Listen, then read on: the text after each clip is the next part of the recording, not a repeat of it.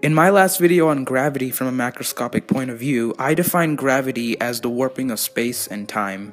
But it's gravity on a microscopic level that makes things more interesting. And here's a quick disclaimer before I dive into what gravity is on a subatomic scale, you might need some background knowledge of string theory. Anyway, there are two main types of strings closed and open.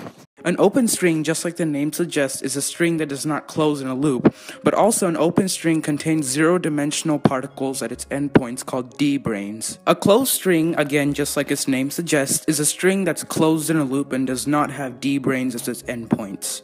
Gravity is made up of subatomic particles which are closed strings called gravitons. Because gravity is a closed string, it can do something pretty interesting.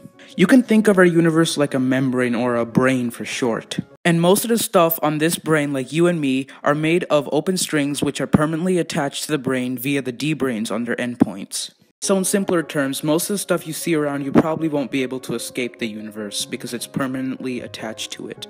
However, gravitons, as mentioned earlier, are closed strings.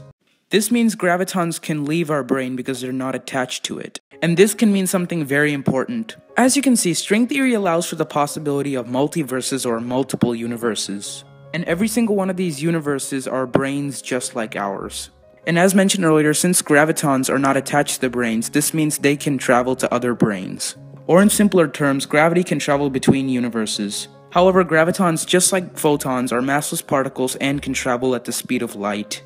Unfortunately, the distances between universes are so large that despite the graviton's fast speed, it would take eons for gravitons to travel from one universe to another, which means we won't be detecting gravity from another, another universe for quite a while. In addition, how gravitons work is complicated but kind of interesting. To simplify it as much as possible, I'm just going to say that whenever matter and space interact with each other, they exchange gravitons, and this exchange of gravitons is what we perceive as gravity. But then this brings up another question Is gravity a wave or a particle? Well, an article at Fermilab answered this question.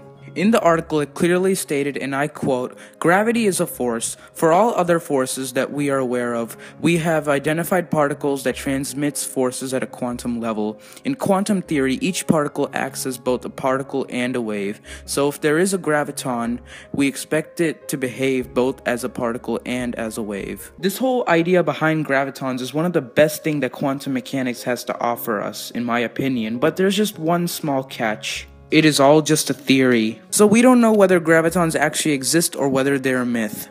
However, mathematically, gravitons can exist. And so there you have it, the very, very basics of quantum gravity. Don't forget to like, share, and subscribe. And stay tuned for more science videos.